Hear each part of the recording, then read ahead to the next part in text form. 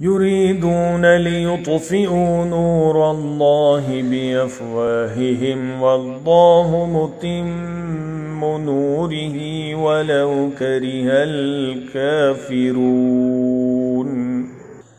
They desire to extinguish the light of Allah with the breath of their mouths, but Allah will perfect His light even if the disbelievers hate it.